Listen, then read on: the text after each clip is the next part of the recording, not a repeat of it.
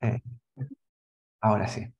Eh, con esta pequeña presentación, ya a nombre del programa de Derecho, Ciencia y Tecnología, la Pontificia Universidad Católica de Chile, le damos oficialmente la bienvenida a este seminario, donde la gracia es conversar eh, qué es lo que está pasando en materia de protección de datos, pero qué es lo que va a pasar desde el punto de vista del abogado. Entonces, hace una pequeña introducción de algunos temas a considerar para tener algunos puntos en común, y después nos vamos directamente con las presentaciones de Katy y Macarena, y después a las preguntas, por supuesto, que vayan saliendo en, eh, en el chat por parte de ustedes. Entonces, eh, déjenme ¿Estás compartiendo tu pantalla? Ahora estoy compartiendo, ¿cierto? Sí. Antes estaba mirando cualquier cosa. Entonces, los desafíos o, la, gracia de esta conversación es cuáles son los desafíos para el abogado o abogada que esté una firma de abogados, ¿cierto? O en la empresa. Eh, por eso, y me estoy colgando completamente en la presentación que hizo Katy eh, para este seminario, eh, el proyecto de ley trae diferentes oportunidades, ¿no es cierto? La nueva regulación trae diferentes oportunidades y desafíos que deberíamos eh, empezar a pensar, ¿no es cierto? Primero, una oportunidad tener una certeza jurídica que hoy día no tenemos. Eh, dificultad frecuente que van a haber en las conversaciones que tenemos con Macarena, con Katy, con otros abogados de la plaza. ¿Qué hacemos en tal caso?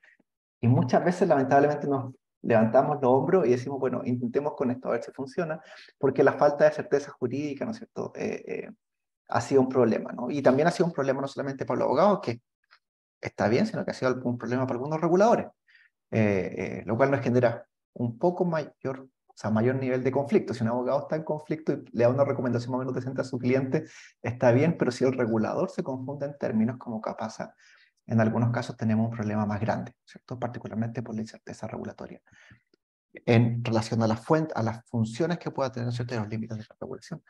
Em, tenemos hoy día diferentes autoridades, vamos a tener en el corto plazo al menos tres autoridades que nos van a dar eh, definiciones en materia de protección de datos personales. Por un lado, la Agencia de Protección de Datos Personales, sale la ley.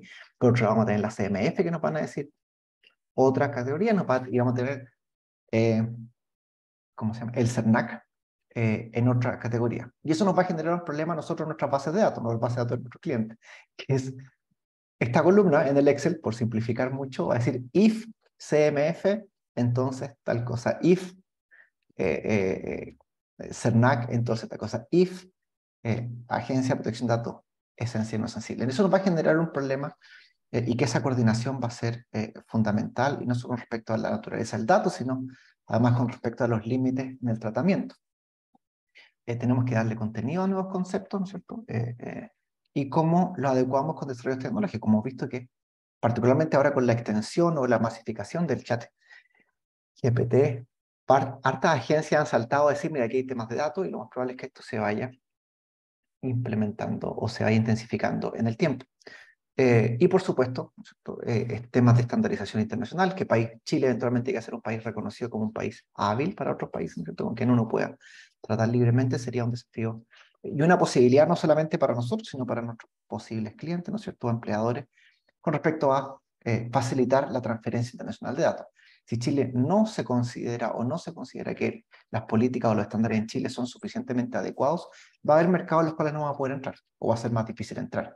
¿No? Que hay un efecto en las pymes, ¿no es cierto? No solamente en pymes, sino que en empresas grandes, pero pensando que las principales desarrolladores pueden ser pymes, para poder entrar al mercado se ve muy limitado por la falta de regulación. Y aquí el desarrollo industrial del país en materia de ciencia de datos se va a ver limitado si es que no tenemos una legislación adecuada. Y eso es súper interesante como concepto, cómo la regulación puede ser un habilitador para comercio internacional.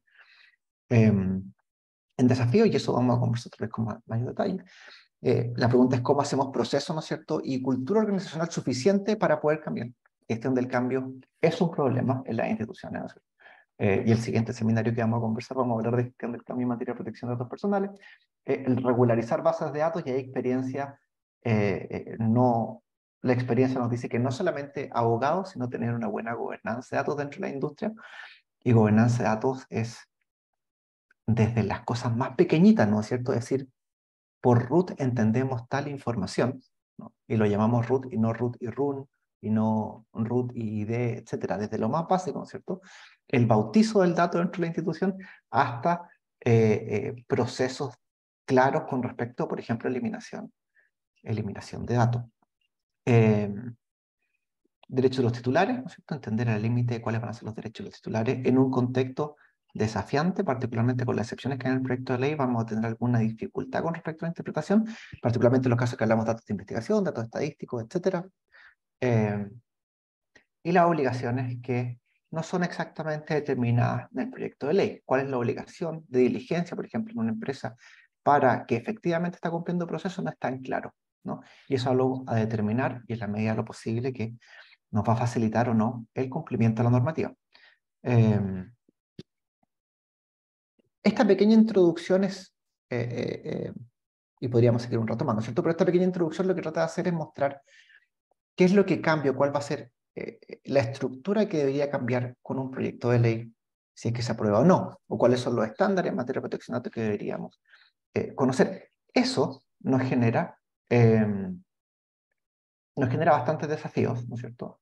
Para las organizaciones, como lo decimos, para el sistema jurídico, pero para los abogados. Y por eso queríamos partir ahora con Catherine Collins, si es que nos puede hacer una pequeña presentación del tema, ¿no es cierto?, de cómo funciona eh, eh, la vida de un abogado, qué es lo que hace, cuáles son los desafíos para los abogados de, la industria, sin meternos en temas propios de la organización, hay NDAs, ¿no?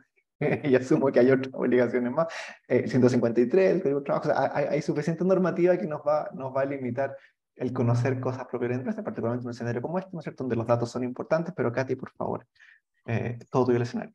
Gracias, Matías. Yo quisiera partir con la premisa de que la ley nos da un periodo de vacancia de dos años, pero es para todo el proyecto de ley.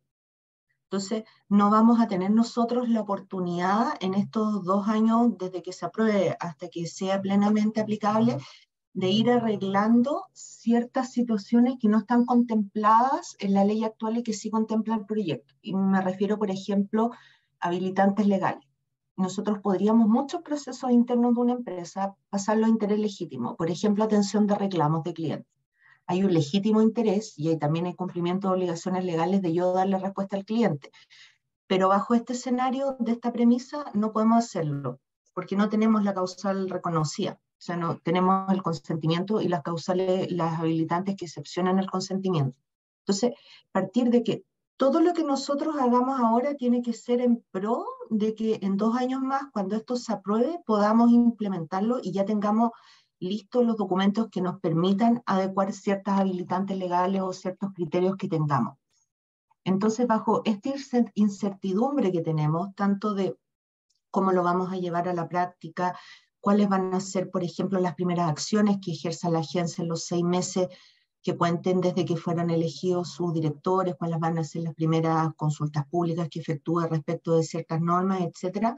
A mi juicio, lo primero sería enfocarnos en, número uno, conocer el core de nuestro negocio, hablando desde mi perspectiva como abogado in-house, saber qué es lo que hace tu negocio, porque si tú sabes bien lo que hace tu negocio, eres capaz de hacer los documentos base que sean robustos para que él pueda tratar bien los datos personales. Y me refiero a negocio, organismo en general, público o privado.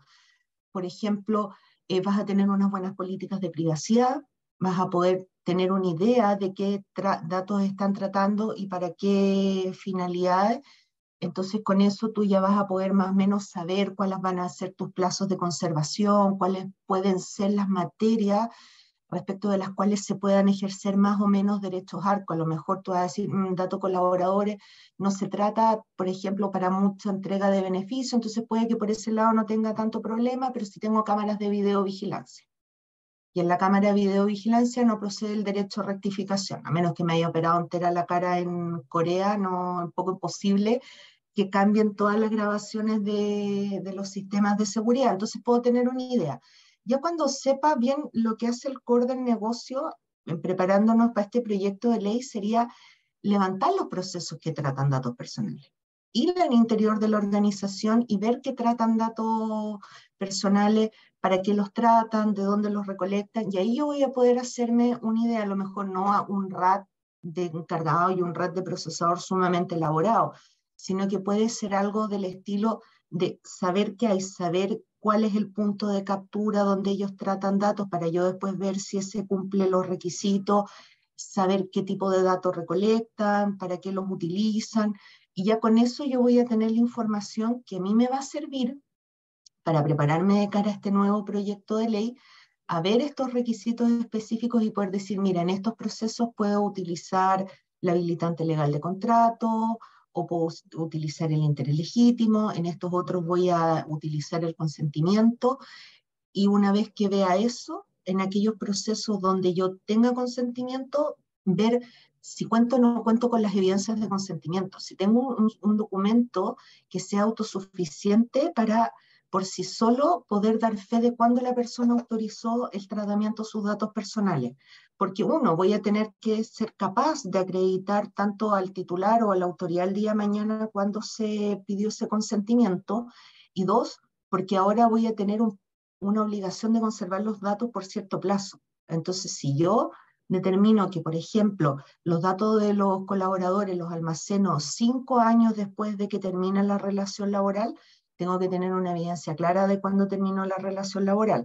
Si yo ponete los datos de compra, los utilizo por tres años, bueno, ¿cuándo él abrió la cuenta o cuándo él efectuó la compra para yo poder completar esos datos? Y de ahí también ver cómo son las consultas de las bases de datos, cosa que si el día de mañana ejercen un derecho de portabilidad, un derecho de acceso o cancelación, yo sea capaz de consultar las distintas tablas, que el Data Lake pueda relacionar estas tablas para entregar esta información y el día de mañana poder anonimizarla o eliminarla cuando se cumplen los plazos o a petición del titular. Eso a grandes rasgos, pensando que en los distintos países, cuando se han establecido estas grandes modificaciones normativas, como por ejemplo en Europa, lo primero que hicieron las agencias de protecciones de datos fue revisar las políticas de privacidad y revisar los consentimientos que es un poco también lo que está pasando en Colombia. En Brasil no, no sé tanto, ahí todavía la agencia como que no ha entrado tanto en actividades, agencias nuevas como viendo la experiencia comparada, todavía están en proceso de consultas de norma, pero si uno ve lo que pasa como es el foco con el que primero te van a regular y son tus principales obligaciones y aquellas que concadenan todas las otras que tú tienes. Ya después verás si le pones o no le pones una etiqueta específica al dato en el data lake, dependiendo de la autoridad que te va a fiscalizar o si es un dato de una información, de una, ¿cómo es que se llama?, de una obligación que no se puede informar y tú no estés sujeto a esa obligación, pero tú digas, no sabes qué mejor, este tipo de deuda no le incluyo dentro de los datos que pueden compartirse para enviar información, pones la, la marca. Pero todo ese sistema, si bien tiene que ser conjunto, creo que la prioridad debería ser conocer nuestro proceso con nuestra documentación interna y tener estas evidencias tanto de consentimiento como de transferencias de datos, para tener mapeado más o menos a qué, cuál es el flujo de la data, si es nacional, internacional, y ver si se cumplen los requisitos. Sería como una primera aproximación. Harta, harta, harta, pega. primero susto. Eh, y, segundo, harto, hay bastante término técnico. ¿no? Eh, eh, por lo pronto está, está notando de, un par de palabras, ¿no es cierto? Mm. hablaste del RAT, del encargado responsable, ¿no es cierto? Data lakes, anonimización. te voy a hacer una, una sola pregunta antes de, de, saltar a, a, a Macarena. Em, ¿Cuánto te costó sentirte cómoda con los términos técnicos. Nunca te terminas de sentir cómodo con los términos, términos técnicos, Matías. También todos los días me entero de algunos nuevos. Sí, eh, yo creo que ahí hay que distinguir el término técnico que nosotros usamos como abogados, cuando nosotros hablamos de un rato, un registro de actividades de tratamiento, que es jurídico en el RGPD, pero también muy utilizado en la ISO o de anonimización, cuál es la bajada de ese concepto técnico. Y por eso algo que nosotros siempre hemos conversado contigo, con la MACA, es la importancia del trabajo multidisciplinario, porque tú, la, la, ley te puede decir, el dato tiene que ser anonimizable. ¿Qué significa eso? Que rompes de manera irreversible la capacidad de identificar al titular. Y después en la práctica, un dato siempre puede volver a, ser personal siempre se puede desanonimizar. Entonces, ahí de repente te das cuenta que los términos técnicos jurídicos que tú tienes no cuadran en la realidad tecnológica que hay. O sea, y, vas viendo entonces, ok, pero vayamos poniendo este, este punto. O que los técnicos entienden de otra forma. Entonces dicen, no, si está anonimizado porque está encriptado, yo no lo puedo ver. Ya, pero eso no es que esté anonimizado, eso es que no tienes la llave pública. Mm. Pero podrías verlo, pero ese es el punto. Es más que nada es ir conversando con, las, con tus contrapartes y trabajando en conjunto con ellos para ir eh, aprendiendo estos términos que nunca los dejas de aprender de todas formas. Voy a aprovechar esa, esa Katy, muchas gracias por la respuesta, eh, para decir que este seminario más en el contexto del Diplomado de Protección de Datos Personales de la Universidad Católica. Eh, el diplomado ya llevamos varias, varios años, ¿no es cierto? Y todos los años lo actualizamos eh, un poco, ¿no es cierto?, a, cómo se va adecuando, en el cual además las ambas expositoras, Catherine y, Macarena, son profesoras flamantes del diplomado, ambas con muy buena evaluación, además, por eso partimos con ellas. Eh, eh, así que invitación a todo el mundo a, a, postular al diplomado. Voy a mantener en el chat el, el vínculo, cualquiera. Macarena, paso, paso a ti. ¿Cómo es la vida del abogado?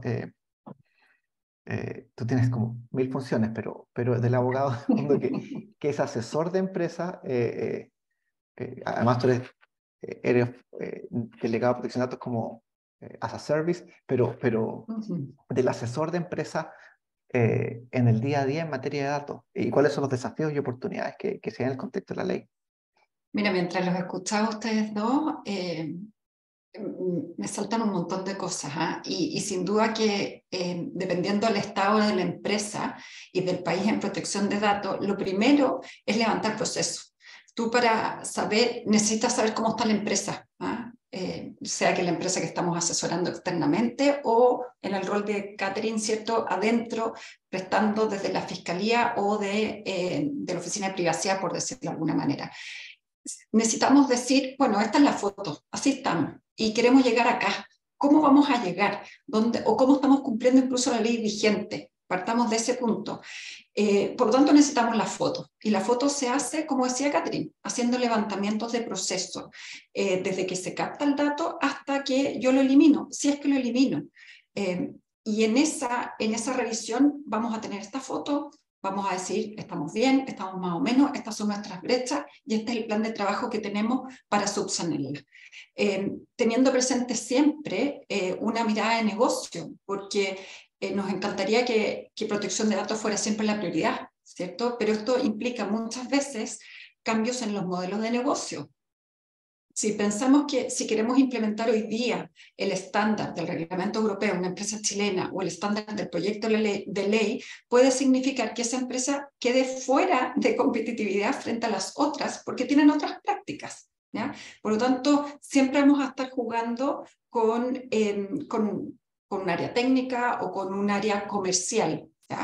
Y, lo que decía la Catherine desde el punto de vista de eh, que todos los días aprendemos conceptos, nosotros como abogados aprendemos conceptos técnicos, ¿cierto? Porque nos toca lidiar mucho con áreas comerciales, con gobierno de datos, con tecnología, eh, y empezamos a, a, conocer, yo acá en el equipo siempre digo que somos con inteligencia artificial, entre más casuística tenemos, más somos o, mejor podemos asesorar a nuestros clientes, porque nos ponemos, tenemos otras visiones también de negocio y otras industrias.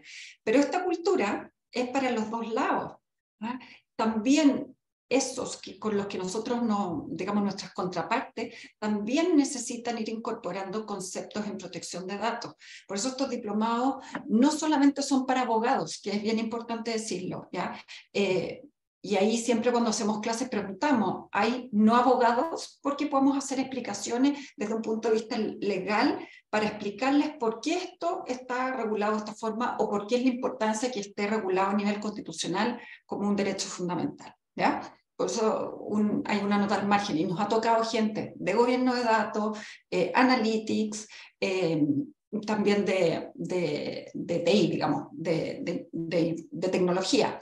Eh, y, un, rol que nosotros hacemos mucho es apoyar en paralelo de ir levantando procesos a nuestros clientes, es ir capacitando de menos a más. ¿ya?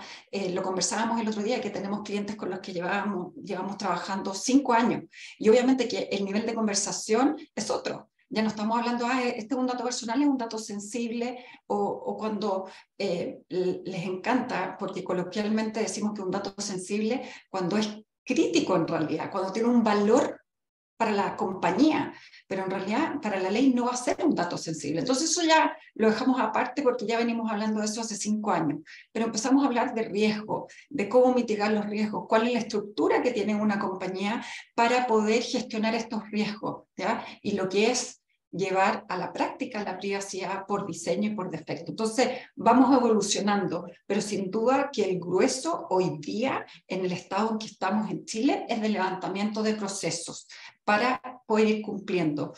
Y otra cosa que les quiero mencionar, que voy a tomar algo que dijo, eh, que mencionabas tú, Matías, de los derechos de los titulares de datos, ¿cierto? Y parece re fácil, decir, ah, bueno, derecho a información, acceso, rectificar, súper fácil, y cancelar también, pero no saben lo difícil que es, que es poder cumplir hoy día en dos días, porque ese es el plazo que tiene la ley vigente, en dos días, un, uno de estos derechos cuando no tengo claro dónde están las bases de datos y si, si son las únicas. Y una vez con un cliente, esto fue hace por lo menos cinco años atrás, le digo, ¿ustedes saben cuántas bases de datos tienen? Y me dijeron así como un número exacto, 256, porque era un número bastante alto, pero exacto.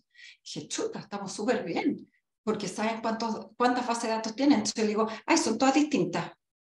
No, no sé. Entonces se dan cuenta que es tremendamente difícil, si Macarena Gatica pregunta qué información tienen de mí cuando yo les di el consentimiento o cuál es el habilitante para tratar mis datos, es tremendamente difícil si no tenemos la casa ordenada por dentro. Y, por eso es fundamental em, levantar proceso y comenzar a ordenar la casa. Yo digo, esto es como el closet. Todos los calcetines van a estar juntos y que efectivamente, como decía Matías, le pongamos el mismo nombre. que no son medias y no son calcetines, porque de lo contrario, las bases de datos no conversan, tienen que tener el mismo idioma. Y volvemos al tema cultural. Porque, y, les voy a poner un ejemplo. Eh, estábamos redactando una política eh, en, en, una empresa que era una, es como un reglamento de tratamiento y protección de datos, es decir, es interna, cómo la compañía trata los datos. Y después nos pasaron una política de seguridad de la información y entramos a de confidencialidad y nos dimos cuenta que los conceptos contradecían nuestra política porque eran anteriores. Es decir, habían sido redactadas sin una mirada de protección de datos, sino exclusivamente seguridad de la información. Entonces eso llevó a decir, bueno, tenemos que tener casi como un diccionario a nivel de política, de manera que todos sepamos a quién nos estamos refiriendo cuando hablamos de un dato personal y qué mirada debe tener, por ejemplo, cuando luego está gobierno de datos, que tiene una mirada muy de negocio, pero que tenga su mirada de protección de datos. Y ahí tiene un punto súper importante, Macarena, porque suelen mirar esto de forma aislada y, ni un programa de cumplimiento ni estar certificado en una norma ISO te va a asegurar el cumplimiento normativo. Las ISO no te exigen la existencia de un contrato para transferencias internacionales, que te lo exige el proyecto de ley. O, por ejemplo, te dicen que pueden tratarse de datos de menores de 14 o 16, rigiéndose por la normativa europea, que no es la norma chilena actual en protección de datos. Nuestra norma actual no establece una norma especial de capacidad para entregar la autorización. Entonces, yo debería ir a la regla general y decir a los 18, a los 16 no me puedes dar el consentimiento para el tratamiento de tus datos, tú como menor. Entonces, ese punto que habla la MACA es súper relevante, de coordinar bien todos estos documentos para asegurar un cumplimiento legal. Ah, ahí un, dato para complementar un poco lo que dijo Maca y, una pregunta a propósito de los temas de los menores. Eh, según los datos del año pasado de la IAPP, la Asociación Internacional de Profesionales de Privacidad, eh, el 60% de los delegados de protección de datos de la Unión Europea, el 60% eran no abogados. Eh, solo el 40% en el fondo eran abogados. lo cual también habla de un gap importante en formación, no porque no hubiese necesidad de tener abogados, sino porque el gap de formación eh, eh, estaba un poco al de, el diagnóstico de ellos decía, efectivamente falta que los abogados se puedan capacitar más en este, en el lenguaje, en la cultura, en el proceso de negocio, etcétera, en capacidad de auditar, etcétera, etcétera, etcétera, eh, lo cual no necesariamente estaba cubierto. ¿no? Entonces, hablamos también de ahí. Sociológicamente, una pérdida de oportunidad eh, eh, representativa en la Unión Europea, que lo vemos en otras áreas desde el punto de vista jurídico, también por la falta de, de lenguaje. y eso, y me quedo con lo último que dice, que dice Catherine con respecto a los datos menores. Datos menores es un problema en general, ¿no es no, no, no tiene, es un gran problema eh, por varias razones. ¿no? Eh, eh, una de las principales es las plataformas. Entonces, ¿cómo lo hacen hoy día con una legislación, que, con la legislación actual, ¿no es cierto? Pero pensando hacia el futuro, el acercamiento a los datos de menores. ¿Cómo se hace la mantención? ¿Cómo se hace yo particularmente, no sé, trabajo en la universidad, en la universidad tenemos, tenemos muchos temas con, con, con menores de edad, ¿no es cierto? Los de primer año muchas veces son de menos de 18. Eh, eh, los preuniversitarios, ¿no es cierto? Estoy pensando en los colegios, los colegios debe ser más problema. ¿Cómo han visto ustedes que se ha resuelto particularmente el tema de menores? Esto simplemente como más para mí que para... ¿Quién dispara primero, Catherine? Mira, nosotros, sí, como la ley no te da una, autorización especial por el momento, es el, el, lineamiento, a mi juicio, debería ser no se tratan datos de menores si no se tiene la autorización de quien lo tenga a su cargo. Esta situación cambia en pro de la nueva ley, igual con eh, desde un negocio o de un organismo público con ciertas restricciones, o sea, no llegar y ofrecerle muchos servicios, a lo mejor esto desde mi ámbito personal, porque de todas formas son menores, pero sí lo que nos ha pasado técnicamente, que la otra vez lo conversábamos con Cristina, que es eh, la data compliance, que es data compliance también, es cómo vamos a marcar estos datos en el data lake para que sean menores, porque no te sirve el root, porque con la cantidad de inmigrantes que tenemos y hay mucho RUT, veintitantos millones, que era el que solía ser el de los menores. Entonces, la marca más lógica que se nos da desde gobierno de datos ya no va a ser. Entonces, estábamos viendo ver la marca por año, pero eso también tiene una dificultad de que mes a mes, casi diariamente, tienes que ir actualizando esa marca para cuando cumpla los 18 tú puedas dejar de identificarlo como menor de edad. Entonces está, está complicado el tema. Sí, y no solamente eso, porque tengo un consentimiento. Pensemos que lo dio el padre, o la madre o el tutor. Perfecto. Cumplió 18 años. Ese consentimiento ya no vale. No, Entonces, tengo que tener una doble marca, un seguimiento, de decir, bueno, cumplió 18 años de edad, le tengo que buscar un consentimiento, si no, ya no puedo seguir tratando sus datos porque no tengo base de licitud. ¿Se fijan? Eh, o sea, el tema es bastante más complicado. Por otro lado, eh, vuelvo al tema de, de la cultura, la concientización, el conocimiento en esta materia, porque nos encontramos frecuentemente frente a casos en que no se le pide autorización, consentimiento a nadie para tratar datos de menores de edad. ¿ya? Vemos eh, vemos promociones y no es porque haya un dolo detrás, ¿ah? yo siempre digo esto, no es porque alguien tenga las ganas, vamos, ah, vamos a tratar datos de menores de edad, no, porque no saben, no, sé, no entienden qué hay detrás de tratar los datos de menores de edad. Y voy a poner un ejemplo. Em, para el Mundial, ¿cierto? En diciembre del año pasado, em, conversando con un menor que hoy día está en cuarto medio, pero no tiene 18, en ese momento tenía 16 o 17, me dice, o no, con mis compañeros de curso, em, igual nos ha ido bien en las apuestas del Mundial. Y yo, ¿qué? ¿A qué te refieres? Bueno, además de que es un objeto ilícito, pero dejemos eso aparte, están todos apostando en distintas plataformas online y obviamente que todos mienten en su edad, ¿cierto? Porque les ponen la fecha de nacimiento que hablaba Catherine de hacerle el seguimiento. Pero, ¿qué más podemos hacer para poder, ¿qué está en la diligencia, cierto, el proveedor del producto y servicio para poder verificar esa edad, más allá de que mientan en el año de, eh, de nacimiento. Y me acuerdo que una vez conversábamos con alguien de Facebook, de Meta hoy día, y nos decía que ellos, a sabiendas de que hay menores de edad que mienten en su edad, han tenido sistemas que en base al contenido dicen mm, probablemente este no es un mayor de edad o no tiene la edad requerida por Facebook, que si no me equivoco es 14. Em, ¿Cierto? Ya. Entonces ellos van haciendo y de repente preventivamente van caducando permisos, cuentas, o a lo menos las dejan en suspenso hasta que se acredite que efectivamente esa persona es usuario mayor de edad. Entonces, es más difícil aún, ¿cierto?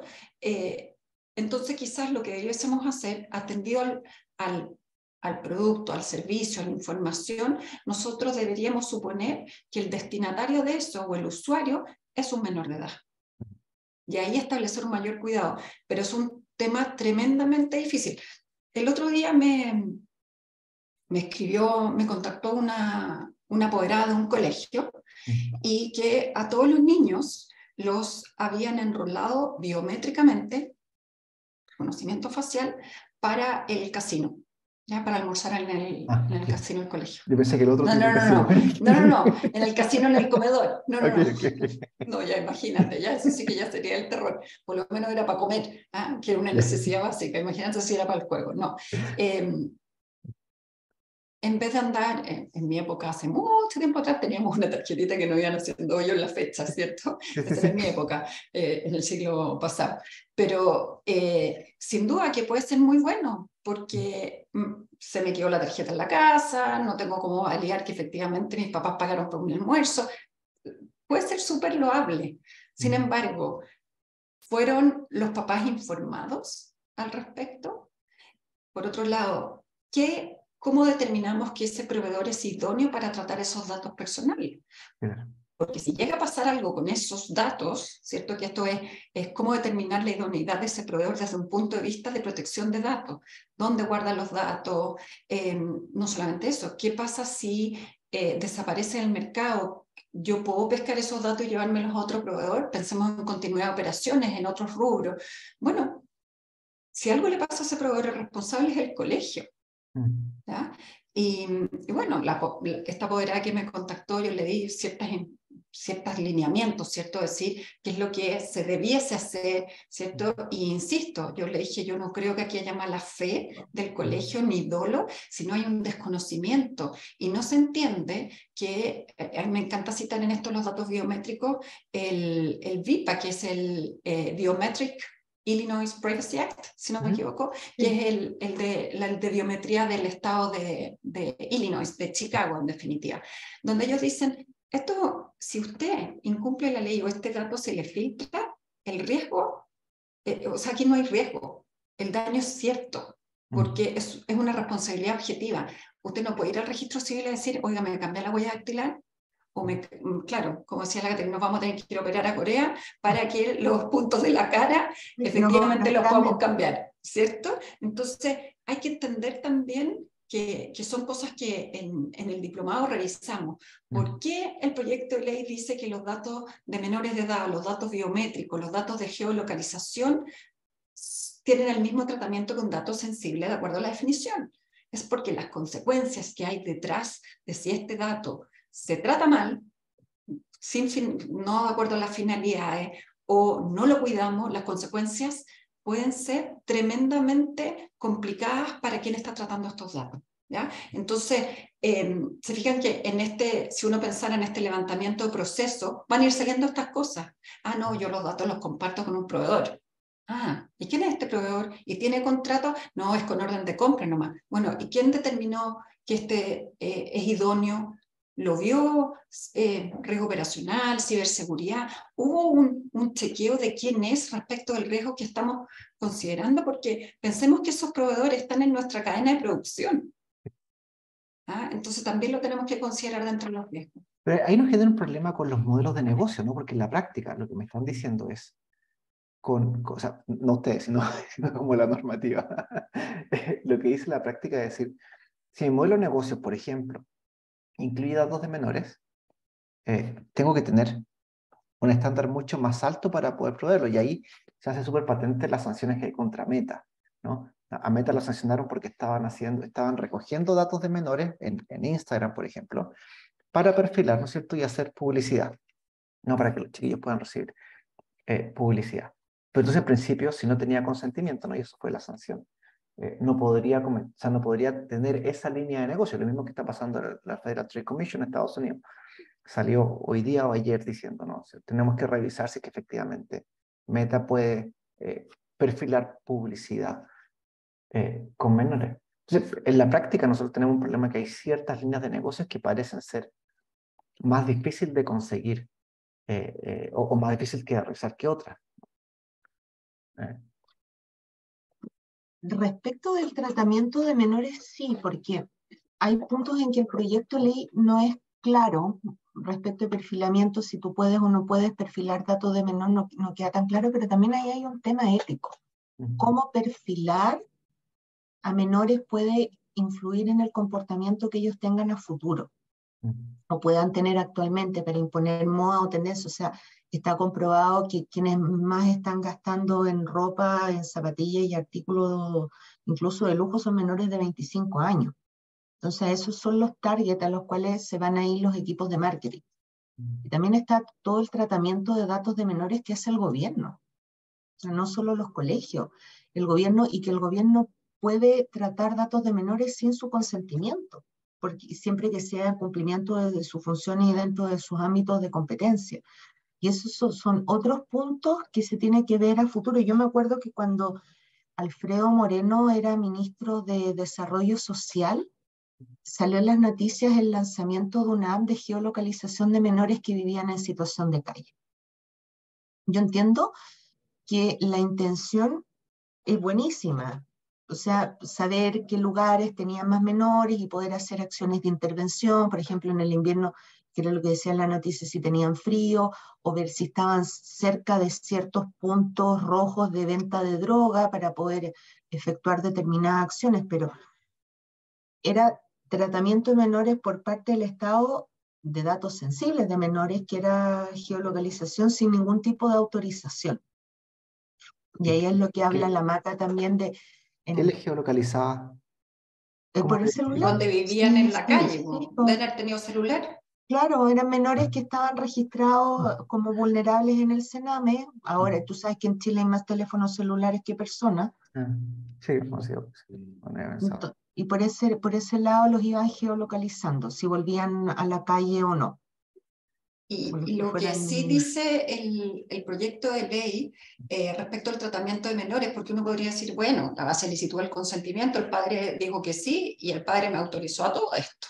Bueno, no es tan así porque ese tratamiento de datos tiene que ser de acuerdo al desarrollo progresivo del menor. Ahí nos vamos a los derechos de la niñez, todo, vamos para allá. Pero aquí es lo que se traduce, hablemos en palabras bien sencillas, a que yo también sea, tenga ética y que no esté tratando datos para, con contenidos, por ejemplo, que no son adecuados a la edad.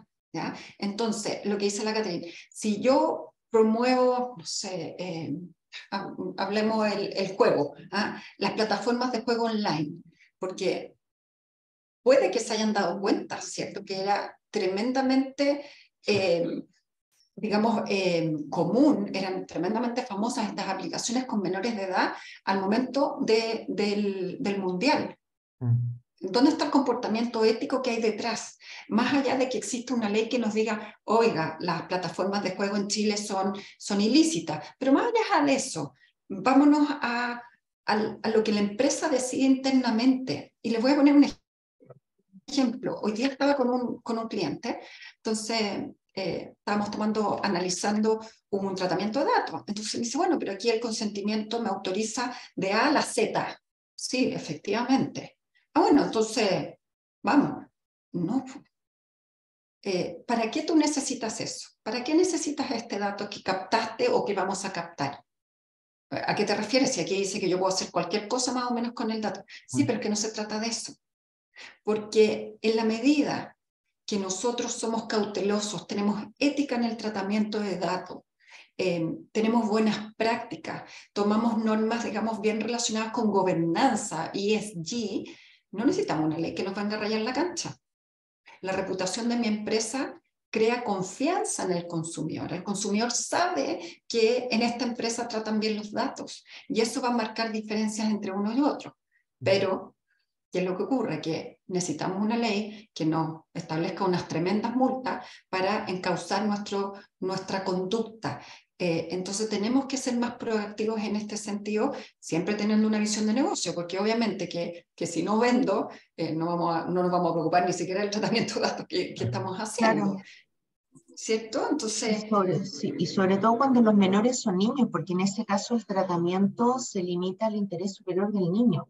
Entonces, pensando en el ejemplo que daba Macarena del colegio con reconocimiento facial para el almuerzo, ¿qué tanto va eso unido al interés superior de un niño de 6 o 7 años. Yo entiendo que para el colegio, para la dinámica del colegio como negocio, es mucho más fácil que el niño se pare ahí al frente, tenga la cara, que estar con un vale, con una tarjeta, como en la época de nosotros, o anotándose en un libro, etc. Pero ¿va realmente en pro del interés superior del niño ese tratamiento? Se guardan todas las medidas de seguridad porque no es necesario que tú guardes la fotografía de la persona con la ecuación del reconocimiento facial, para, basta que guardes el token con el resultado que te dio, con el algoritmo. Tampoco sabemos si el proveedor hace eso. Y la pérdida de un dato biométrico es irreversible. Es que ahí, ahí tenemos dos, dos factores, ¿no es cierto? Uno, por supuesto, hay algunas empresas que tratan de vender la más tecnología posible, y siempre parece más entretenido vender biometría facial que un, que un token o una credencial, porque menos tecnológico, más fome. y, este es el problema también, ver a quién uno, con quién uno está contratando.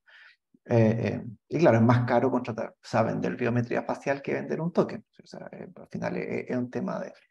Y, y, segundo, y esto lo conversábamos el otro día con, con la Maca, a propósito de una entrevista el, el, en un curso el fin de semana, eh, siempre suena muy top decir contratamos inteligencia artificial para resolver un problema. ¿no? Eh, y, parece que la inteligencia artificial viene a resolver eh, muchas cosas, y es lo que conversaba a propósito del problema en los estadios, que quieren poner biometría facial para la gente que va a ver partidos de fútbol. Pero porque ahora mantener inteligencia artificial viéndole la cara a la gente, y es como, ya, pero está bien, pero no resuelve nada. si el tipo lo toman detenido, no es como que ahora va a estar preso de verdad, ¿no? O sea, significa que simplemente... No, y, está comprobado que estos sistemas de reconocimiento facial en la calle se equivocan en lo que se hace en Inglaterra con estas cámaras donde van cruzando la gente que pasa con las bases de terroristas o de presuntos terroristas y los detienen presuntamente y se han demostrado pero muchos errores y ha habido varias demandas judiciales con ese sistema. ¿Se acuerdan de, esta persona afroamericana que, que, murió en Estados Unidos? Eh, en realidad, que murió, digamos, en manos de la policía, ¿se acuerdan? Eh, Floyd. Y que hay, es Floyd, que no me acordaba del apellido. Eh, ahí, y, y, fue todo un tema de biometría de, y que fue un falso positivo. o sea, y esos son, no decimos no lo usen, sino, bueno, veamos cuáles son los riesgos y qué voy a hacer con esa información que ojo, que la información cuando la tengo me da valor, pero también me da responsabilidades, no solamente cuidarla. ¿Qué voy a hacer con esta información que yo tengo en la mano? ¿Ah? Y, ahí hay, un dato, solo para extremar el ejemplo, ¿no? En, en, el, en el reporte del, Departamento de Defensa de Estados Unidos 2019, hablan sobre armamento autónomo, ¿no? Sobre que básicamente el dron que llega a reconocer a una persona y explota o le dispara, lo que sea, ¿cierto? El, eh, que, la misma persona había sido, la misma persona había sido matada 60 veces eh, en los primeros casos. O significa que al menos 59 veces se equivocó. Eh, ya que estamos hablando de la misma tecnología, ¿no pero con efecto o con resultado de muerte. Al menos 59 veces se equivocó, ¿no? asumiendo que el número 60 le achuntaba. Pero déjenme volver a... el problema de este tema es que es muy entretenido. Entonces, déjenme volver a recausar la discusión, porque si no nos vamos a empezar a escapar eh, eh, en otro tema. Lo que nos pasa todos los días. Lo que nos pasa todos los días. Y generalmente nos pasa los días y termina en la noche, ¿no? Porque terminamos hablando horas de estos temas. Eh, ¿Cómo, esta es como pregunta de matinal, ¿no? Pero ¿cómo es la vida, el día, la vida de un abogado que trabaja en esto in-house y, y, en, y en una oficina? Pregunto por qué, o sea, pregunto cómo. qué porcentaje del día está destinado a levantar procesos y levantar activos digitales, qué porcentaje está en proyectos nuevos, qué porcentaje está en educación y, y compliance, y como estos seminarios, como estas charlas internas. ¿Cómo, ¿Cómo se divide el día de un abogado de privacidad eh, eh, para, para, ustedes? Eh,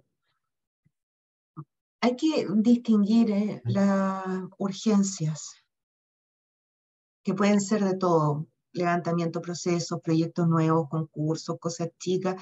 Eso eh, demanda harto tiempo porque es eh, información urgente que requiere el negocio. O sea, tiene que salir procesadora, tiene que salir harto.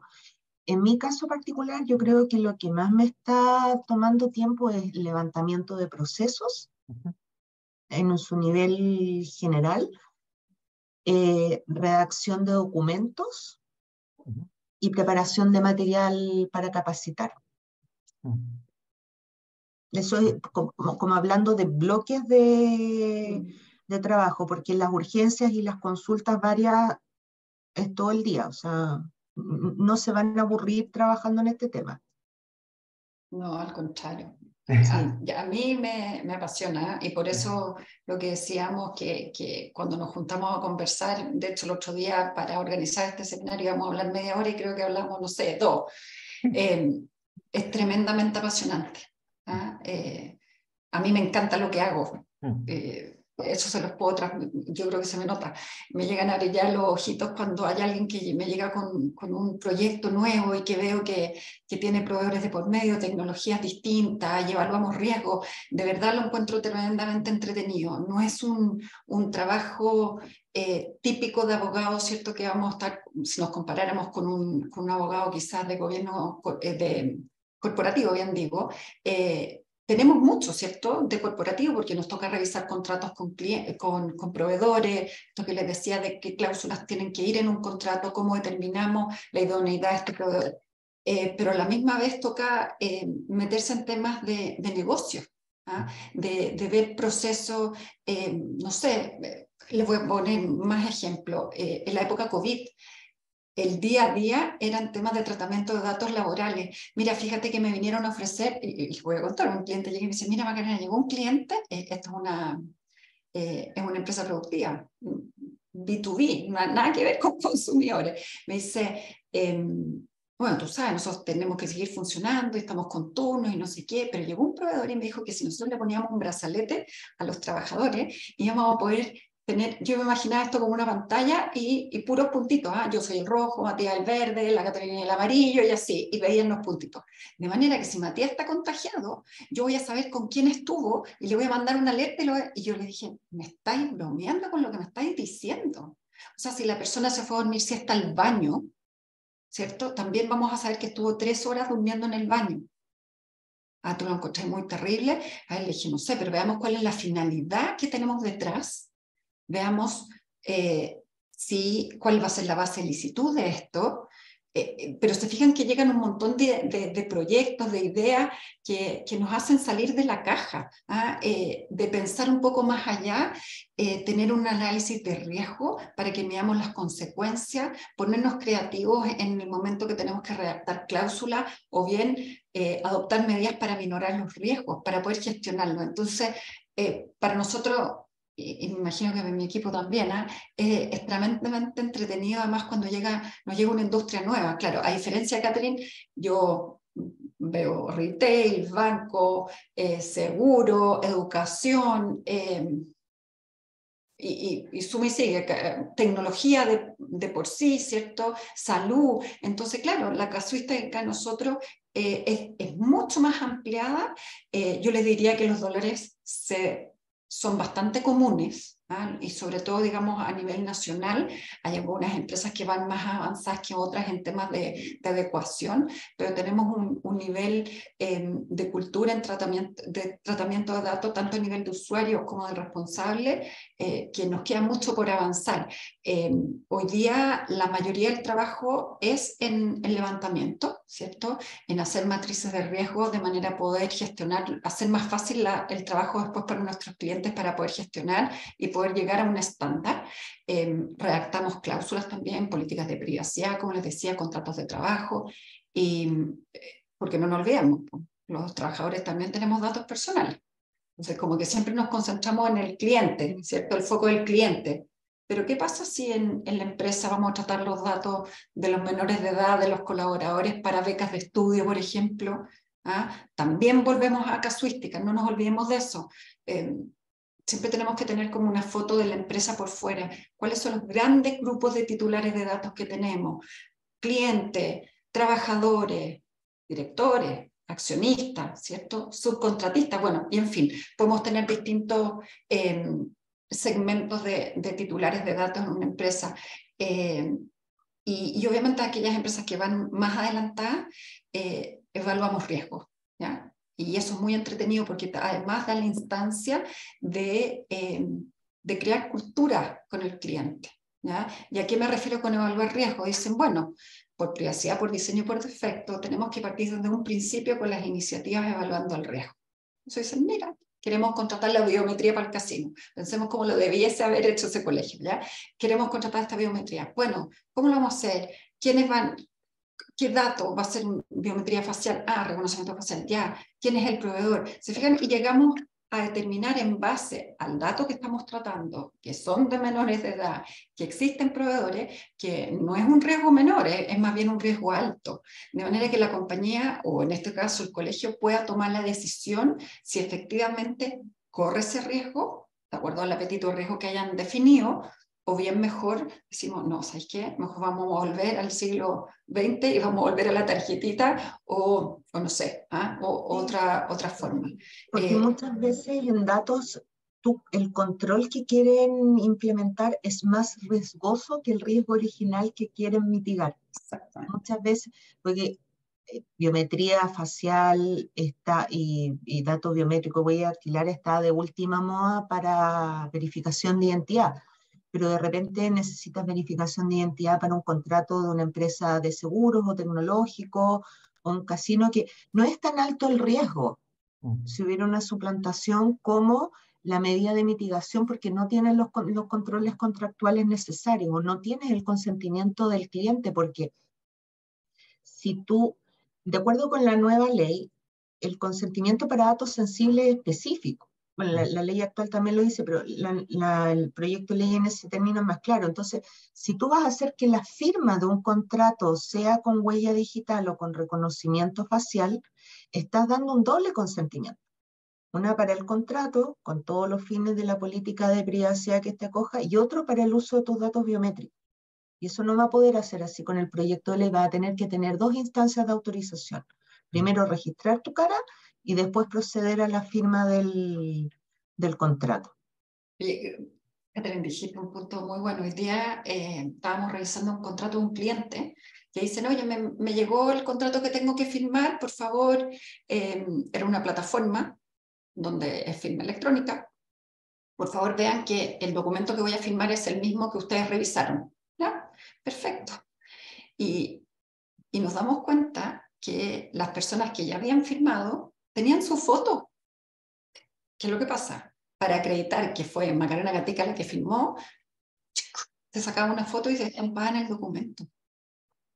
Entonces, cuando vimos esto, dijimos, no, esto hay que preguntarle al gerente general, al representante, si está dispuesto a dejar su biometría, su foto en el documento, porque además va a quedar un respaldo, ¿cierto? No sabemos qué respaldo va a quedar en, en el peor del servicio de firma electrónica.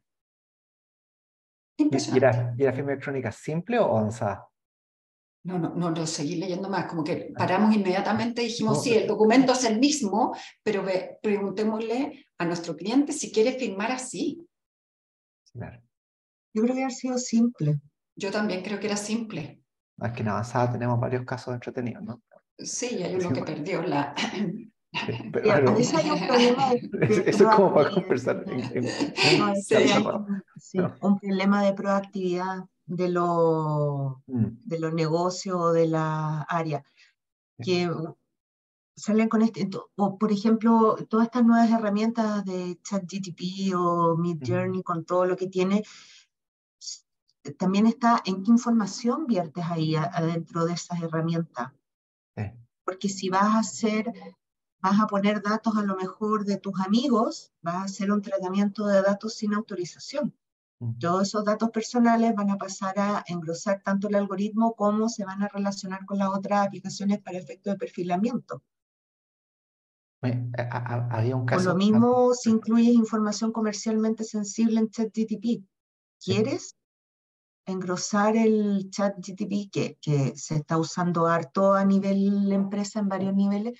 Pero ¿quieres información sensible de tu empresa comercialmente sensible para engrosar el algoritmo? ahí, ahí para darle un ejemplo de, de modelos de negocio eh, eh, más innovadores de, de, lo que corresponden. Eh, hace un par de años salió en China a una empresa, la sancionaron porque prestaba crédito a estudiantes universitarios y escolares del último año. Escolares. Y, escolares, créditos. O sea, como, pero, pero en crédito así como chico, ¿no? Pero así como, medio de los 17 años, más chicos, pero los niños que estaban como en, en la universidad, eh, y la empresa les pedía como garantía que mandaran una foto desnudos con su carnet de identidad. Porque en caso de no pago la hacían pública. Esa era como parte. No puedo creer. Bueno, gracias a Dios lo sancionaron, ¿no? Y como que no se filtraron las fotos. Pero la empresa se dio cuenta porque la empresa empieza a filtrar fotos de alumnos que no pagaban. ¿no? Eh, eh, pero de ChatGPT, mm. eh, miren lo que es la gobernanza, es decir, cómo definimos adentro de la empresa cuál es el estándar que nosotros queremos. Ya apareció HP, eh, la mm. empresa de computadores, mm. si no me equivoco fue HP, eh, capaz que estoy inventando el nombre de la empresa, les pusieron información en ChatGPT, información confidencial de la empresa. Olvídense de datos personales. Ah, pero información confidencial de la empresa, ponte tú que le dijeron, oye, hazme la matriz de riesgo y pusiste todo lo demás, se lo diste a ChatGPT y ChatGPT puso todo. Pero hay información de la empresa, ¿ya? Em, y si no es HP, eh, por favor me disculpan, pero estoy casi seguro que... Y, Pensaba que era Samsung. Samsung, tienes toda la razón. Sí, gracias por rectificar. El tema está en cómo definimos a nivel de empresa qué hacemos con todas las herramientas que tenemos. Y cómo protegemos los activos. Puede ser una base de cliente, puede ser la fórmula de la Coca-Cola. ¿Ah? Eh, porque yo le podría decir a ChatGPT, oye, ¿cómo protejo la fórmula de la Coca-Cola? Esta, pum, y obviamente que la va a adquirir. Y ojo, que no es que la herramienta sea peligrosa. Que es, que, términos y condiciones. Se fijan, es también cómo nosotros definimos qué hacemos con esas cosas. Porque lo contrario, nos encontramos con la sobreregulación y nos encontramos con que después vamos a parar desarrollos tecnológicos que pueden ser sumamente beneficiosos para todos, porque hubo un mal uso o porque los que lo usamos no, no entendimos o a nivel de, me refiero de usuario, no definimos las reglas para qué lo íbamos a usar. Hay, hay, un dato, por ejemplo, que para nosotros en la universidad ha sido de algún nivel de dificultad importante, es la cantidad de proveedores digitales que existen, Entonces, tenemos desde la cuestión que nos arregla la ortografía en inglés hasta, no sé, sistemas de astronomía, qué sé yo. O sea, lo, lo, lo, que quieran, imagínense, está con... Y una de las dificultades es efectivamente el traspasar hacia el cliente interno los términos y condiciones. Porque no es lo mismo tener, por ejemplo, la versión gratuita de Tableau, un software típico de, estadística o, o, de visualización de datos, a tener la copia pagada. Entonces, cuando nosotros decimos, no, vamos a hacerlo con Tableau o tal proyecto, ahí la pregunta es, ok, ¿cuál? ¿Tiene la versión gratuita o la versión pagada? Ok, o cuando llegan generalmente para desarrollo de app o lo que sea, no, vamos a hacer tal y tal, ok, pero mándame los términos y condiciones. No, porque está lleno de términos y condiciones para desarrollo de apps, por ejemplo, donde es, una licencia gratuita, eh, GNL, eh, pero con publicidad de la información que yo subo si es que no estoy pagando. ¿no? muchas veces la propiedad intelectual, si la fotografía o lo hace una empresa valora que tenga una cierta facturación, va a ser de mi journey o, o de la X, o si usas la versión gratuita, ellos van a tener el derecho a uso de imagen, la propiedad intelectual, van a poder transferir los datos. No estamos saliendo un poco de datos personales, pero sí estamos entrando en todo otro mundo no regulado en estos proyectos tecnológicos de, de propiedad intelectual, de marcas, de libre competencia.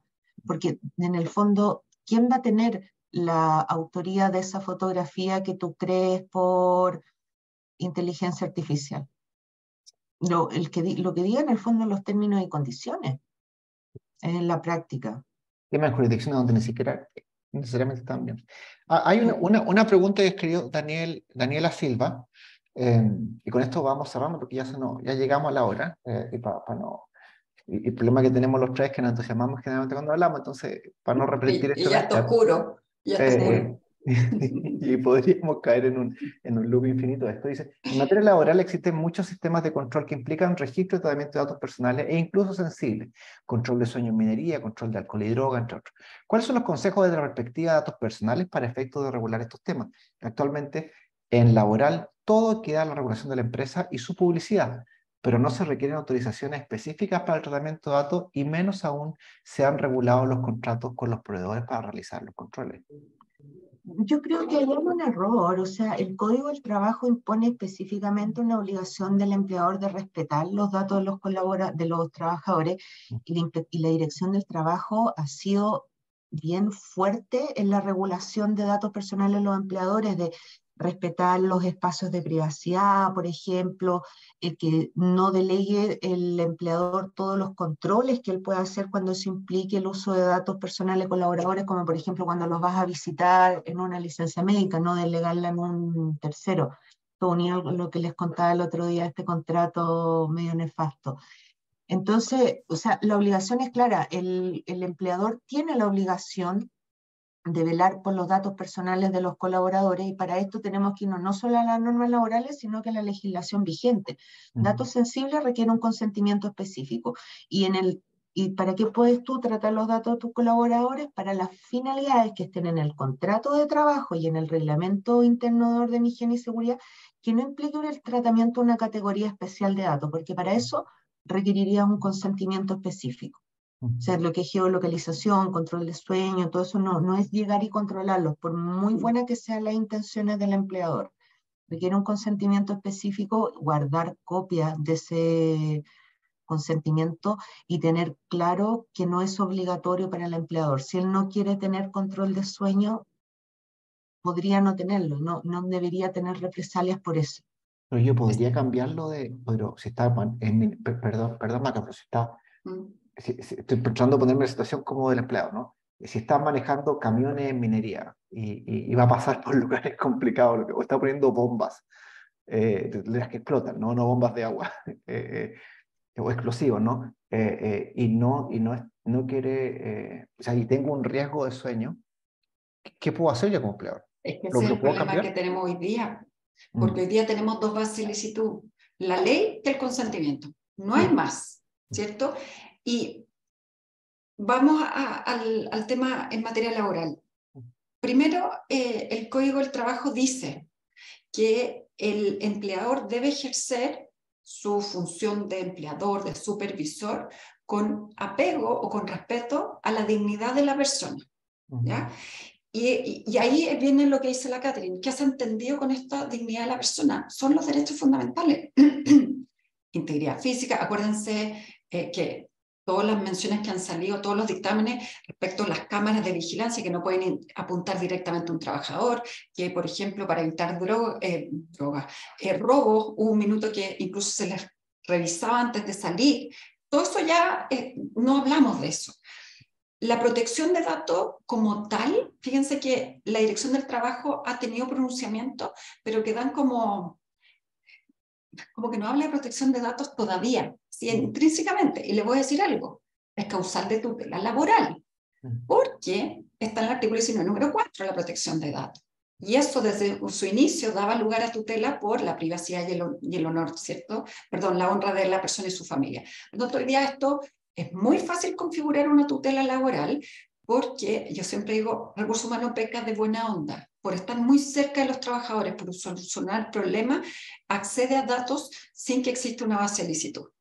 Por lo tanto, cuando uno se enfrenta, eh, y hay una clase específica que la hago yo, así que matricules, eh, cuando uno se enfrenta al tratamiento de datos en materia laboral, uno distingue en la base de licitud, que es la ley, que es estrictamente el código del trabajo, todo lo que nace de la relación laboral, que no requiere un consentimiento, porque hay una ley que dice que lo tengo, o sea, si yo no tengo el RUT, no puedo pagar el sueldo, no puedo pagar las cotizaciones, todo mal, ¿cierto? Hoy día necesito hasta el correo personal porque se lo tengo que dar a la dirección del trabajo. O sea, todo eso está en la ley.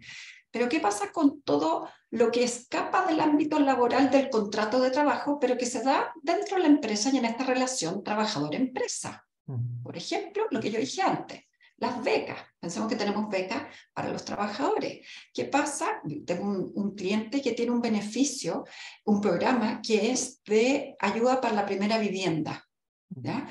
Eh, y por lo tanto, dentro de su formulario para ingresar al trabajo, eso típico que uno pone AFP, ¿cierto? ISAPRE, FONASA, todo eso, decía condición habitacional. Y cuando yo vi eso, casi me muero. Dije, ¿pero de qué me estás hablando? y me explicó porque decía, casa propia, allegado, arriendo. ¿ya? Entonces me dice, no, que nosotros tenemos una ayuda para que nuestros trabajadores logren su primera vivienda. Perfecto. Tiene una finalidad esto. Pero está enmarcado dentro de la relación de contrato a trabajo, jornada, em, eh, la responsabilidad patronal. No, pues esto ya escapa para otro lado. Entonces, parece que la base de licitud no es la ley. ¿ya? Ahora, la dificultad de cuando yo no logro, en estos temas que hablábamos recién, no logro tener una base de licitud en la ley, puedo correr el riesgo en que el trabajador me diga que no. ¿Y qué hago? No lo puedo despedir. Le voy a poner a él que un timbre aquí que cuando pone la cabeza, ¿cierto? Como el año 20, que cuando ponían la cabeza eh, se despertaban. ¿Ah? Eh, para despertarlo, para que no tuviera un accidente, se dificulta tremendamente. Entonces, ¿en qué nos ayuda el proyecto de ley? En que eh, hay una amiga que le encanta decir esto, la Pauli Silva, otra abogada de tema de protección de datos, dice, el proyecto de ley nos da más juego de piernas. ¿Por qué? Porque nos aporta dos bases de licitud más. Y una es el interés legítimo. Yo, señor, quiero controlar, quiero medir sus sueños, su no sé qué, su geolocalización, porque lo estoy cuidando su vida, su integridad, más allá de que haga una pérdida total del camión que usted se saque la mugre, yo no quiero que usted se muera. Entonces, efectivamente, podríamos tener mejores, vamos a tener mejores posibilidades de buscar otras bases de licitud que nos van a permitir em, tratar el riesgo, ¿ya? Eh, eh, el tratamiento de datos de los trabajadores.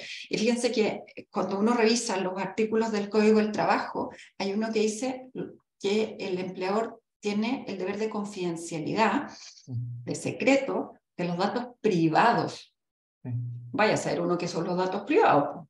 ¿ah? Porque, pero esas son, son cosas que vamos a poder discutir en clase, así que no les voy a adelantar más para que, para que se inscriban y ¿ah? para que no sea eh, un spoiler. Eh, pero bueno, en temas laborales hay, hay una cantidad de cosas que, que hay que revisar. ¿Ah? Veamos con esos proveedores dónde guardan los datos, cómo lo hacen. Volvemos a lo mismo, cómo determinamos la idoneidad de ese encargado del tratamiento de datos. Porque si somos una minera, va a ser la minera la responsable, eh, más allá que después podamos repetir contra ese proveedor, pero el obligado a, indemnizar va a ser la empresa y la multa. Y, ahí se aplica el caso de que habíamos conversado de para recordar la vida de la persona o de un tercero. Que ahí tiene que, sí, sí, pero ese es, más extrema esa causal porque es recordar la integridad física, psíquica, se entiende de, claro, Estamos hablando de una excepción en el proyecto de ley de cuándo yo puedo usar un dato de salud sin consentimiento y es una casuística bastante de ciencia ficción, pero, pero ahí está. voy a... pero, tu hora de sueño es un dato de salud propiamente tal, si nos vamos a lo que dice la ley de derechos y obligaciones del paciente, ¿no estaría dentro de la información que contiene la ficha clínica, menos que tuviera una condición de insomnio tratada médicamente. te tuviste un ejemplo súper bueno, porque la ley de derechos y deberes del paciente habla, dice, oiga, la ficha clínica es un dato sensible de acuerdo a la ley 19.628. Entonces uno dice, bueno, aquí guardamos la ficha clínica y te hace una pequeña descripción, pero ninguna parte define datos de salud. La que lo define es el proyecto de ley en el sentido que antes era muy asociado, hoy día está ampliado, ah, lo quiero, quiero hacer una, una, hay como una nota. El dato de salud antes estaba muy relacionado a que si yo estaba sano o enfermo, pero hoy día el dato de salud hablamos también de datos genéticos eh, y que Perfil, más... perfil proteínico, proteico. Proteico, esa es la palabra que quería decir. Sí, sí, sí. Entonces, hoy día va mucho más allá. Mm. Ahora, podría, la- las horas de sueño podrían ser un hábito personal. Hoy día dato sensible igual. Sí, El proyecto de ley ya no es un dato sensible hasta donde vamos hoy día. ¿ya? Entonces, eh, ahí es interesante volver a las definiciones para poder decir, ah, bueno, entonces este es un dato personal puro y simple, va a ser un dato sensible, cae dentro de salud, o, eh, es tremendamente importante. Oye, eh, en tiempo, es que esto, este es el problema que, que tenemos los tres, porque nos caemos muy bien eh, y esto es muy entretenido. Eh, les voy a mandar en el chat a todo el mundo el proyecto de ley. Eh, eh, cómo quedaría si se publicara hoy día, que lo publicamos un par de días. Su like es nuestro sueldo, así que si aprovechan de darle like también a la publicación, sería fantástico, pero quiero, quiero agradecerle a Catherine y a Maca por, por su ocupada agenda, más que se den este, este tiempo de conversar. Eh, agradecerles eh, por adelantado, además, las clases que hacen en diplomado, que son tremendas clases. Eh, no sé si quieren decir alguna palabra final de, de, de qué se viene y, y, con eso vamos cerrando este entretenido eh, conversatorio. Yo creo que lo que se viene, se nos viene es una oportunidad. Nosotros lo tomamos como un desafío porque vamos a tener que desarrollar ciertas acciones, vamos a tener que levantar procesos y todo, pero es una oportunidad y vamos a tener reglas del juego mucho más claras. O sea, desde que ya los equipos de marketing y de TI ya nos van a creer, porque venimos hace como siete años con el cuento del proyecto ley, proyecto ley, ya nadie no, nos cree, hasta oportunidades de negocio. Mm. Al tener mejores normativas en materia de privacidad, vamos a ser un país seguro, van a poder haber más data center en Chile, van a poder tratarse mejor datos de otras empresas, lo que pasa mucho también en los grupos internacionales, que tu mismo grupo empresarial tiene operaciones en países donde no todos tienen el mismo nivel de protección de datos y de los cuales Chile era casi uno de los peores en Latinoamérica. También vamos a tener certeza con las autoridades y con los criterios que nos van a aplicar el día de mañana, porque ahora, claro, tenemos todo el problema de las circulares interpretativas del CERNAC, que no son más allá de los problemas que tengamos con ellas, de si el la política de privacidad, eso no es un contrato de adhesión o eh, cuando se refiere, por ejemplo, al uso de datos en virtud de un contrato, va más al modelo de las Big Tech, que un uso bastante más desproporcionado de que el quería cualquier proveedor chileno. Mm. Pero más allá de esas interpretaciones, vamos a tener una autoridad con normativa vinculante. ¿ya? y que nos va a poder tener sanciones. Claro, los riesgos son más altos, pero que también acá llevamos cuántos años con una cultura de datos absolutamente atrasada. O sea, y nosotros ni siquiera tenemos cultura de datos como usuarios. Nosotros pensamos que el unsubscribe del no molestar, con eso dejan de tratar mis datos y no, no dejan de tratar tus datos, solo dejan de enviarte comunicaciones comerciales, igual te van a perfilar.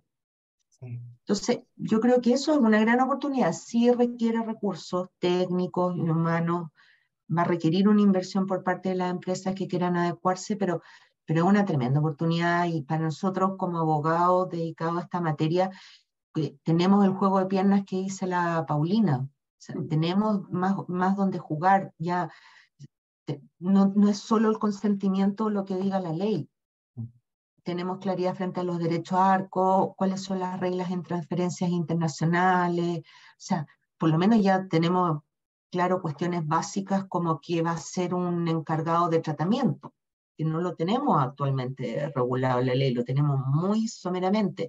Los organismos públicos también tienen reglas del juego bastante más, más claras respecto al uso de los datos, entonces yo creo que es una tremenda oportunidad y algo necesario. O sea, vamos con una ley de neuroderechos, pero no tenemos los pies, no tenemos una ley, la ley de protección de datos, no tenemos una ley marco de ciberseguridad, no tenemos una ley de infraestructuras críticas. Entonces, como país estamos creando en materia tecnológica un gigante con pies de barro. Entonces, yo creo que es eso, es verlo como una oportunidad. Y sí, una materia mundo, que nunca te va a aburrir. Es un mundo de oportunidades y también de desafíos. Eh, a nivel de empresa, ¿cierto? Son tremendos desafíos, son, hay que trabajar para llegar a un estándar, eh, es costoso, no es caro, es costoso, que son conceptos diferentes, eh, pero también hay una oportunidad de diferenciarse, ¿cierto? El competidor de decir, bueno, yo sí tengo un estándar adecuado en protección de datos. Y, y para aquellos que, que, nos estaban escuchando hoy día pensando, bueno, ¿será el área de práctica que yo me debiese dedicar? Yo les digo, escuchen a la Catherine, escuchen a mí, a Matías eh, y a otros abogados, digamos, que nos dedicamos, es tremendamente entretenido. ¿ah? Eh, y, hay, y hay y va a haber campo para rato, ¿cierto? Hay ciertas industrias eh, legales o, ramas, por decirlo, que, que, ya van más de retirada o, o, que es más difícil, sí, que, que sí hay pega, pero no digamos que sea algo como que, que, que, que abunde. Em, entonces, hoy día piensen en lo que decía Matías, en esto, en lo que hablábamos de un DPO. Hay otros programas que también tiene la Universidad Católica, también relacionados con tecnología y derecho, inteligencia artificial, que ya comenzaron este año, pero no los olviden para el próximo año en esto de ir capacitándose aún más pensando en formar parte de un equipo o bien ya terminar como un DPO o trabajar en estudio o trabajar con, la cátedra en un equipo multidisciplinario como, como el que tienen.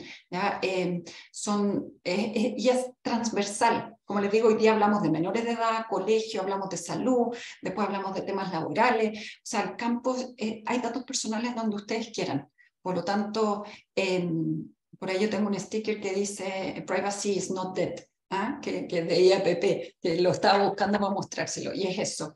Em, creo que tenemos un montón de, de, de oportunidades. Em, y nada, ojalá se entusiasmen y, y los podamos ver pronto. Y, la, y los datos personales no son solo privacidad.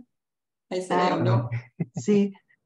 Estilo Sí. Y, no, y los datos personales también son activos de una empresa.